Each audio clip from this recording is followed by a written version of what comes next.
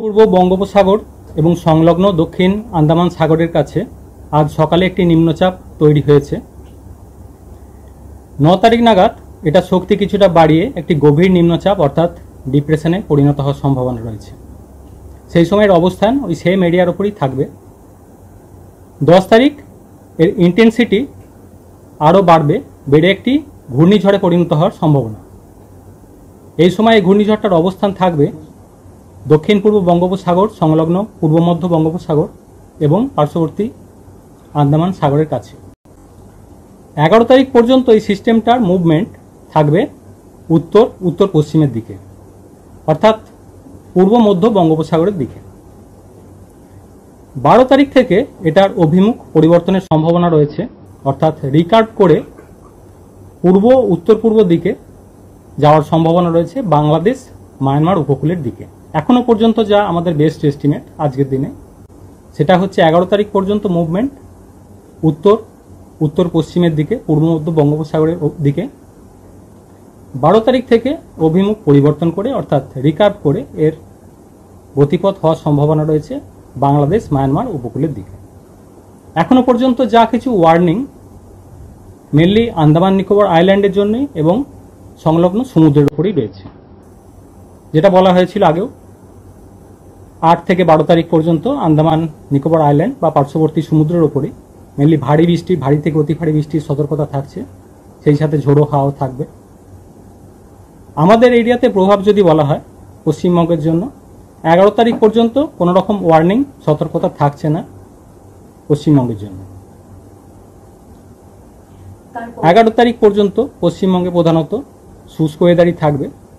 বরং এই সিস্টেমটার প্রভাবে জলীয় বাষ্প অনেকটা কমে যাচ্ছে দক্ষিণবঙ্গের জন্য। এই সিস্টেমটা যেহেতু জলীয় বাষ্প পুরোটা অনেকটা টেনে নিচ্ছে, তো দক্ষিণবঙ্গে এগারো তারিখ পর্যন্ত তাপমাত্রা বরং বাড়বে। নয় থেকে এগারো তারিখ পর্যন্ত বরং দক্ষিণবঙ্গে দু এক জায়গায় তাপ প্রবাহেরও সম্ভাবনা থাকবে। এই সিস্টেমটার এক্স্যাক্ট ডিটেলড গতিপথ কী হবে বা ইন্টেন্সিটি কীরকম থাকবে সেটা আরও আপডেট দেওয়া হবে বিস্তারিতভাবে যখন এটা একটি ডিপ্রেশনে পরিণত হবে। তাপপ্রবাহ থাকছে ন তারিখে মেনলি পশ্চিমের জেলাগুলোয়, যেমন বীরভূম, পূর্ব পশ্চিম বর্ধমান, বাঁকুড়া, পশ্চিম মেদিনীপুর, সেই সাথে হাওড়া, হুগলি এবং দক্ষিণ চব্বিশ পরগনার উপকূলবর্তী এলাকাতেও থাকছে ন তারিখে। দশ তারিখে প্রায় সব জেলাগুলিতেই দু এক জায়গায় তাপপ্রবাহের সম্ভাবনা থাকবে। এগারো তারিখে কিছুটা সম্ভাবনা থাকছে মেনলি পশ্চিমের জেলাগুলোয়। বীরভূম, পূর্ব পশ্চিম বর্ধমান, বাঁকুড়া, পশ্চিম মেদিনীপুর এই সাইডটাতে। বারো তারিখ থেকে তাপমাত্রা আবার কিছুটা কমবে। উত্তরবঙ্গের ক্ষেত্রেও তাপমাত্রা বেশি থাকবে, স্বাভাবিকের থেকে প্রায় তিন থেকে পাঁচ ডিগ্রির মতো বেশি থাকবে উত্তরবঙ্গে। দক্ষিণবঙ্গের সংলগ্ন যে জেলাগুলো রয়েছে, বিশেষ করে মালদা, দুই দিনাজপুর, এই জেলাগুলো দু এক জায়গায় তাপপ্রবাহের সম্ভাবনা তৈরি হতে পারে। কলকাতায় গরম, অস্বস্তিকর ওয়েদার তো থাকবে এগারো তারিখ পর্যন্ত এবং দশ তারিখে তাপপ্রবাহের সম্ভাবনা রয়েছে। কলকাতার ক্ষেত্রে তাপমাত্রা সর্বোচ্চ আগামী চব্বিশ ঘন্টায় উনচল্লিশ ডিগ্রির কাছাকাছি থাকার সম্ভাবনা রয়েছে, যেটা নয় দশ তারিখ নাগাদ আরেকটু হয়তো বাড়বে, বেড়ে চল্লিশের কাছাকাছি পৌঁছাতে ঘূর্ণিঝড় এখনও তৈরি হয়নি লো প্রেশার তৈরি হয়েছে সমুদ্রে। আন্দামান সি, বা যেটা বললাম সাউথ ইস্ট বে অফ বেঙ্গলের কাছে। এটা যেহেতু আরও খানিকটা ইন্টেন্সিফাই হবে, ন তারিখে এটা ডিপ্রেশন এবং দশ তারিখে সাইক্লোনে পরিণত হওয়ার সম্ভাবনা থাকছে। তো এর প্রভাবে জলীয় বাষ্প পার্শ্ববর্তী অঞ্চল থেকে এই সিস্টেমের দিকে চলে আসছে। ফলে দক্ষিণবঙ্গে যদি বলা হয়, জলীয় বাষ্প ক্রমশ কমে যাবে এর প্রভাবে। তার প্রভাবে এই তাপমাত্রা খানিকটা বাড়ার সম্ভাবনা তৈরি হয়েছে। এগারো তারিখ পর্যন্ত দক্ষিণবঙ্গে এই সিস্টেমের জন্য কোনো রকম সতর্কতা থাকছে না।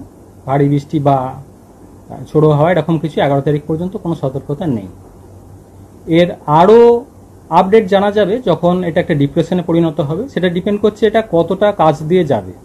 এখনও পর্যন্ত যেটা বলা হয়েছে, এগারো তারিখ পর্যন্ত উত্তর উত্তর পশ্চিমের দিকে মুভমেন্ট মধ্য বঙ্গোপসাগরের দিকে। বারো তারিখ থেকে এটা রিকার্ভ করে উত্তর উত্তর পূর্ব দিকে ঘুরে যাওয়ার সম্ভাবনা রয়েছে এবং আশা করা হচ্ছে এখনও পর্যন্ত যেটা বেস্ট এস্টিমেট বাংলাদেশ, মায়ানমার উপকূলের দিকে অভিমুখ। এবার এটা কতটা কাছ দিয়ে যাচ্ছে দক্ষিণবঙ্গের উপকূল থেকে, সেটা বিস্তারিত জানা যাবে। আরও যখন এটা ইন্টেন্সিফাই হবে ডিপ্রেশন হিসাবে। থেকে বারো তারিখ এই পিরিয়ডটায় আন্দামান নিকোবর আইল্যান্ডের ওপরে ভারী থেকে অতি ভারী বৃষ্টির সতর্কতা থাকছে, সেই সাথে ঝোড়ো হাওয়াও থাকবে। বিশেষ করে আট তারিখ নিকোবরের দিকে প্রভাবটা বেশি থাকবে, ভারী বৃষ্টির সম্ভাবনা থাকছে আট তারিখে নিকোবরের দিকে। নয়, দশ, এগারো, বারো এই পিরিয়ডটায় ক্রমশ এটা সাউথ থেকে নর্থের দিকে অর্থাৎ নিকোবর থেকে আন্দামানের দিকে প্রভাবটা বাড়তে থাকবে। দমকা ঝোড়ো হাওয়া ক্রমশ বাড়তে থাকবে। Seventy two eighty, gusting to ninety kilometre per hour পর্যন্ত থাকতে পারে আন্দামান নিকোবর আইল্যান্ডের কাছাকাছি। এবং যেটা বলা হলো যে ভারী থেকে অতি ভারী বৃষ্টিরও সতর্কতা থাকছে। তো সেই কারণে মৎস্যজীবীদের আট থেকে বারো তারিখ সমুদ্রে যেতে নিষেধ করা হয়েছে। সেই সাথে যে ছোট যেসব বোট রয়েছে, সেগুলো সেই সময় আট থেকে বারো সমুদ্রে যেতে নিষেধ করা হয়েছে। বা বড় শিপের জন্য, শিপিং অ্যাক্টিভিটি রেগুলেট করার জন্য পরামর্শ দেওয়া হয়েছে আট থেকে বারো।